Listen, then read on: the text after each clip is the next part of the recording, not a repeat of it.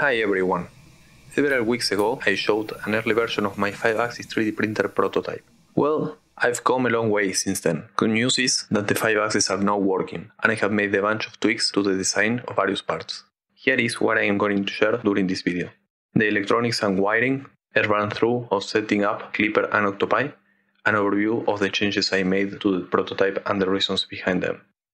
Regarding the changes I made so far into Klipper's source code to add the extra axis, I will tackle that in the next video, so keep an eye out for that. Oh, and quick heads up, Previously, I called the two new axes U and B, but someone in the comments suggested A and B since they are rotational.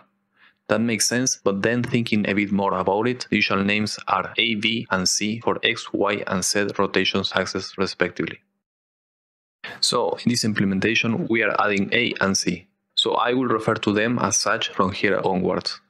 Unfortunately, I didn't think that through that much during development, and I have named my axes A and B in my code. Maybe I should add C as well and make sure that they are optional too. Alright, let's get started with electronics. I have chosen a 24 volt 30 amps power supply for this printer. I am using a brand new one because I discovered some damage inside the old one. It was still working in the old printer, but let's not risk it. Next, I've got a Duet 2 Wi-Fi board and a Duex expansion board. I purchased them a while back, and while more advanced versions are available today, those should suffice for my needs. That is because I am going to use a Raspberry Pi 4 to run Octoprint and Klipper. Octoprint, if you haven't stumbled upon it yet, is an open source software that installs into the Raspberry Pi and provides a 3D printer management tool. It lets you control and monitor every aspect of the printer remotely via a web interface. It is basically an interface between your 3D printer and your computer or device. And if you are unfamiliar with Klipper, let's summarize that it essentially does all the heavy duty calculations on the Raspberry Pi instead of the Duet board. This makes it substantially faster. The Duet 2 boards remain important to control the peripherals, although it's more of a passive interface that follows the Raspberry Pi's directives. Let's put it this way printer control boards were traditionally in charge of executing complex and resource intensive calculations. Meanwhile, we were wasting computing capacity in the Raspberry by running only Octoprint. It wasn't long before someone smart realized that they could shift those calculations from the limited microcontroller to the Raspberry Pi, and then relay the pre-processed instructions to the microcontroller already cooked for their execution. Luckily, among the sample configurations, I found samples for my boards, even with the expansion board into account, which simplifies my discovery work. Also worth mentioning, I have integrated two external stepper drivers to handle those beefier motors, just as I promised. And here is where it gets interesting. Those drivers can handle up to 50 volts. Think about it. If I ever want to ramp up the motor's capacity, I could grab another power supply with the same specs, crack it open, tweak it to create a floating configuration and wire it in series with the current one. This would up the voltage to 48 volts, letting me power those larger motors with 48 volts instead of the current 24. I pulled this off previously with my CNC router and it worked like a charm. Please do notice that opening a power supply and tinkering with it can be dangerous, so do it at your own risk. One can electrocute or set something on fire while doing that, so it's a good idea to have a fire extinguisher at hand. I wonder, could I boost an NEMA 17 with an external driver too? Feels like it may be doable, and maybe I can squeeze more performance from the same motors at the expense of probably heat? I was looking into my Bambu Lab printer and noticed that the stepper motors run around 70 degrees, so I will keep that in mind as a baseline. The wiring was done in two parts. Initially, I connected the power supply to the boards and the external stepper drivers. Following this, I wired the Raspberry Pi and connected it to the external keyboard, mouse, and monitor. Then I flashed the latest available Octopi image, which comes preset with Octopi and several other useful tools, making it an excellent starting point to install Klipper. Once installed on the Raspberry Pi, Klippers let me compile the firmware for the Duet boards and flash it directly into it. At that point, I had the basics wired up and Klipper installed and flashed. I was able to establish a connection in Octopi, but later on I ran into connectivity issues. I ended up tracking it down to an end-stop sensor not properly wired. One quick note here. After the fiasco of my last wiring work, I decided to invest in some specialized tools. I got myself some decent quality crimping tools and all sorted connectors. And it did save me a lot of time in the end. Not to mention that it is more reliable when done right. I decided to test each connection one by one by powering on the printer after each new connection. However, I got complacent and didn't follow that approach while wiring the end stops. This mistake made me waste some time. I found some overcurrent warnings with the dmesg command and could no longer connect Klipper to the Duet, but I could erase and flash new firmware, and that threw me off for a bit. Ultimately, I decided to revert to a previous state where everything worked. That implied unplugging everything one by one until the problem goes away. Just by chance, the problem was traced back to the very last thing I tried unplugging, the SID end stop. The mistake was that I wired it incorrectly, with the ground and signal cables inverted. It could have been worse, I've tried plenty of electronics in the past in similar ways. Even after reconnecting the end stop correctly, the Raspberry Pi had a hard time recognizing the duet board in any USB port. I couldn't find any burn component and the same board was recognized by another desktop computer with Ubuntu installed on it. I ran out of ideas, and to circumvent this problem, I connected the Duet to the Raspberry Pi using the GPIO pins, employing RX and TX lines. I will provide a link to the wiring on a website I am working on, where I will share all things related to this project. I am halfway there with that. In the course of troubleshooting this problem, I decided to add a step-down converter that drops the voltage from 24 volts to 5 volts and delivers 3 amps. This enables me to power the Raspberry Pi from the main power supply by the GPIO pins 4 and 6, which is very convenient as I can now turn everything on with a single button. I believe the Duet 2 comes with an internal 5 volts regulator, but I won't rely on it to power the Raspberry Pi since it's probably unable to supply 3 amps. One more thing I tried was this new thermal camera I bought myself with the excuse of this project. It lets me visually check for any issue by looking for abnormally hot spots. Unusually hot parts are good indicators of future problems. Right now, everything looks cool enough. Let's jump into the software and the firmware. After setting everything up and enabling SSH protocol on the Raspberry Pi, it's possible to remotely access it, provided you know its IP address. One can find this by executing ifconfig in the Raspberry Pi terminal. The benefit on doing that is that you can then unplug all the devices from the Raspberry Pi and use it as a headless computer. You can connect via SSH from any OS. I am using Windows right now, which has a terminal with Ubuntu that I can use to connect. If I were using my Mac laptop, the terminal is native to the OS, like any Unix-like system, including Linux distributions. One of the steps I've taken into this project is to create the fork of the original GitHub repository to version control changes in my configuration and source code of Klipper. Although that is public in my personal GitHub account, I wouldn't like to share it just yet. Surely my superficial understanding of the code base made me make big assumptions, and I will figure out as I go what I did right and what I can do better. Eventually, I would like to be able to send the pull request to the authors, but I am not even close to that level of quality in my code just yet.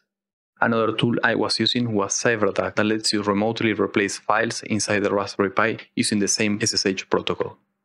But I quickly realized that the workflow needed to change. To simplify the language transition, I just went for PyCharm, which has a plugin to upload the source from my local computer to the Raspberry Pi by SSH with just a click. Notice though that my local files are linked to the GitHub repo as well as the source files inside the Raspberry Pi. Since I am in my exploratory days with this source code, to compare code and to make really small changes is a good way to go. For me, it's important to regularly push changes into GitHub and create tags. This acts as a checkpoint in case I need to roll back a change due to a problem. It's also a good idea to make backups of the Raspberry Pi microSD card before doing big changes. This fallback mechanism can save me from losing days of work trying to detect problems I injected inadvertently. I have learned that Klipper creates a virtual printer in the Raspberry Pi. Octopi then connects to that virtual printer, which communicates with the printer controller firmware running in the Duet. Klipper translates high-level instructions into more simple ones for the actual controller of the printer, and then sends them by the GPIO connection I explained before. Arguably, this is somewhat of a waste of processing capacity of the Duet, which in itself is quite powerful. In this setup, most of its features will be basically bypassed. But the benefits of Klipper and its Python-based code base make it worthwhile. The option is to program in C and C++, modifying RepRap firmware or Marlin, but I haven't touched that in more than a decade and I never grew fond of it. My first naive approach to add the access was to create arbitrary sections in the config file. That proved fruitless. It seems that there are only a certain number of valid sections in the configuration file. Later on, I found what's the mechanism to verify that. I will explain that during the coding video I am going to upload to tackle coding specifics. Now, regarding the changes to the code, what do I have to know to be able to do this? I would say you need decent programming skills in some similar language. If you understand concepts in one language, like loops, functions, variable classes, etc., well, the concepts are all the same, only the syntax changes. I have to admit this is an oversimplification in some sense, but useful enough to face the unknown. As a really high level summary, what I did was to pick the core XY kinematics, duplicate it, and modify the parts I need to handle two more axes. It turns out that many source files had logic that was aware of the number of axes, not just the kinematics parts. It seems like the possible axes Klipper allows are X, Y, and Z, as well as E for a number of extruders. I traced back all the code that is in any way using or manipulating X, Y, and Z, and added analogous logic to cater for A and B. In hindsight, I should have also added a third optional rotational axis named C. The important part is to understand what code runs where, how to add such parts with custom code, and then to run them and see the logs come up. My first step is to add loads of output to those log files, trying to follow the logic, looking into the startup routines, how the configuration is parsed, what is done with each part of the configuration, etc. I must have run this a million times until I put together a mental picture of how things work. This approach is not the only possible one, it's just a simple and effective one. Nowadays, we can also copy and paste code in ChatGPT and ask for a quick human readable explanation.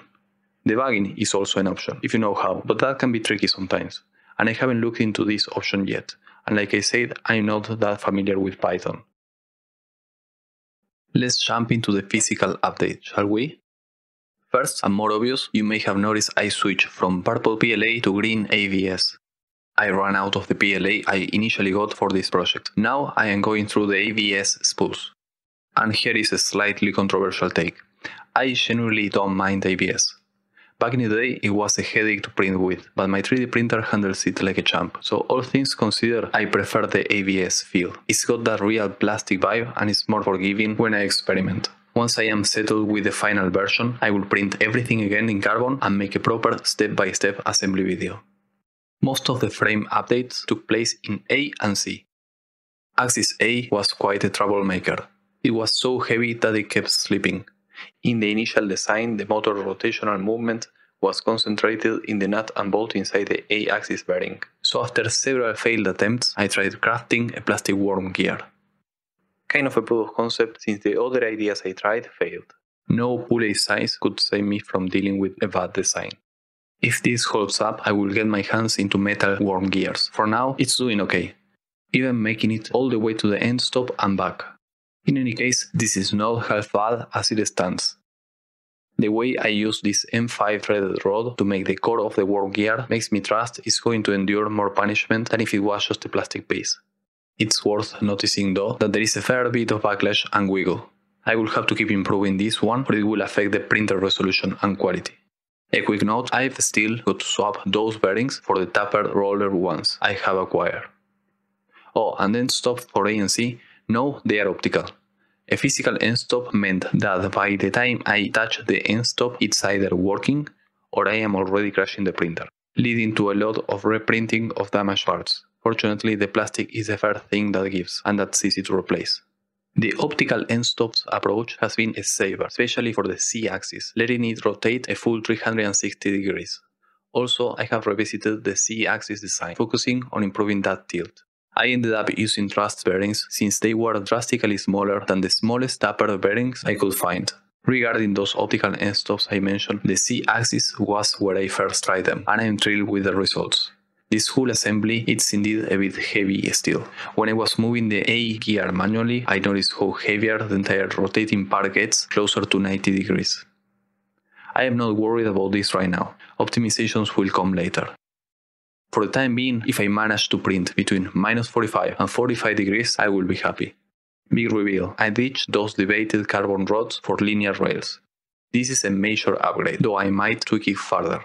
As anticipated during the previous video and by many of you in the comments, those old rods were not gonna do the trick. But we knew that already, so I made the time and replaced them as promised. Had I not changed those aspects of the design, I wouldn't have been able to home the printer at all. To summarize, after all that work, I've got it homing, but just not yet in the way I would like to do it. I would prefer to modify the actual G28 from the newly created kinematics in the source code and to make a foolproof homing sequence. Currently, the home routine starts by X and Y, then it moves the printing head above the expected space where the printing platform is going to be. Then A gets homed and then C. Lastly, it wraps up by homing Z. But here is the setback. I need to position the bed just underneath the printing head before sending it to home Z. But what if the initial state is such that it will make it crash if I home A before pulling Z down? That is a problem that I will leave for later. Eventually, I will have to resolve it with changes in the hardware or through some clever simultaneous move of Z and A to a safe initial position somehow in the code. That's gonna be an interesting challenge. Next steps is to go deeper into the coding part of the project. The design is likely to keep changing as well. In my immediate list for the next month, I have listed modifying the bed leveling routines, adding a proper extruder, testing out real prints, but just in the standard 3 axis for now.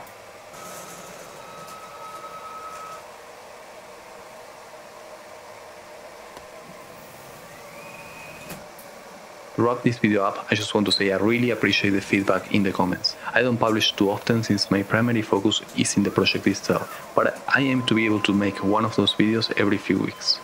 So please subscribe to see this project progress and maybe some other ones in the future. As always, comments are welcome, I read them all and I answer them as soon as I have a good answer for them. See you next time.